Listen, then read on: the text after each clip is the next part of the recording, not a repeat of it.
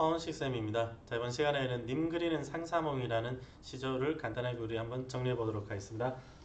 자, 님을 그린, 그리워하다 이 뜻이죠. 님을 그리워하는 상사몽. 여러분 상사병이라고 생각하면 됩니다. 대상을 그리워해서 심적인 마음의 병이 들었다. 상사몽이 실솔, 귀뚜라미라는 뜻입니다. 외워야 되는 단어고요. 귀뚜라미는 언제 나옵니까? 얘는 가을에 나옵니다. 그래서 가을이라는 계절적인 분위기가 실소를 통해서 표현이 된 겁니다.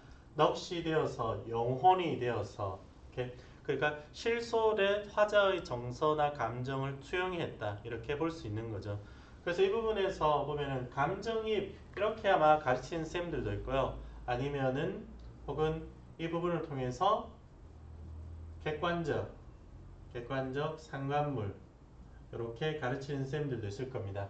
어, 쌤의 어떤 방식에 따라서 객관적 상관물과 감정이입을 구분하는 경우도 있지만은 공통점이 뭐냐면은 화자와 동질적인 정서가 투영이 되어 있을 때 객관적 상관물 혹은 감정이입이라 그럽니다.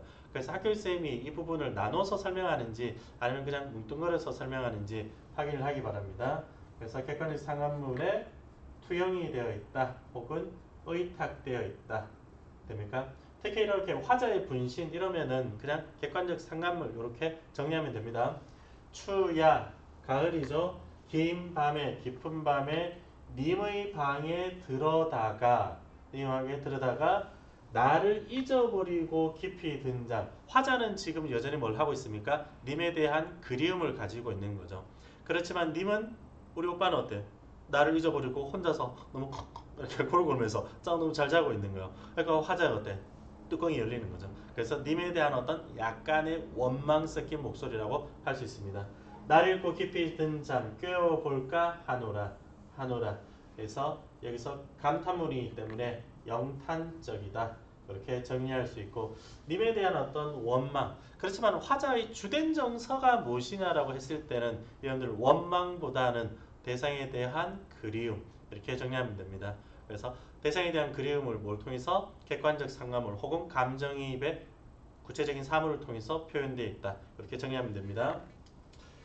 자, 연정가라는 것은 사랑 노래입니다. 사랑에 대한 그리움이고 간절한 그리움, 님의 부재로 인한 외로움이고 자인물의 감정을 이입했다 혹은 투영했다 이렇게 하면 됩니다. 추상적인 정서를 뭘 통해서 구체적인 사물을 통해서 나타냈기 때문에 이런 것들을 객관적 상관물이라 그럽니다. 그래서 객관적 상관물은 여러분들 이렇게 보면 됩니다. 이렇게 감정이입이 감정이입이 객관적 상관물 속에 들어가 있다. 이렇게 정리할 수 있습니다. 문제를 한번 해볼까요? 감정이입을 통해서 화제의 정서를 표현하고 있다. 맞습니다. 원망의 정서를 주다. 주된 내용은 뭡니까? 원망이 아니고 그리움이 되는 거죠. 그리움이 되는 거고 님에 대한 님 그리움을 담고. 맞네. 그리고 봄의 상감이 아니고 님의 부재로 인한 님의 부재로 인한 그리움과 슬픔이다. 이렇게 되어 있는 거죠.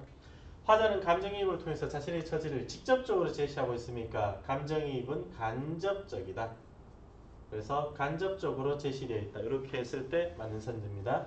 계절감 있는 시어. 어, 시에서 보면은 추야장 이렇게 되어 있지만은 실제로 실솔만 나타나더라도 계절적인 표현이라고 할 수 있습니다. 여러분들 반드시 기억하세요. 화자는 님에 대한 태도를 대비해서 화자와 님의 태도가 대비죠. 화자는 지금 그리움에 사무쳐서 잠 못 들고 있는데 님은 계속 화자와 다르게 뭔가 자고 있었습니다. 그래서 이 얄미운 우리 오빠 가서 깨워야지 이런 것이 화자의 목소리였죠. 님에 대한 태도를 대비를 통해서 심정을 부각하고 있다. 맞습니다. 되죠?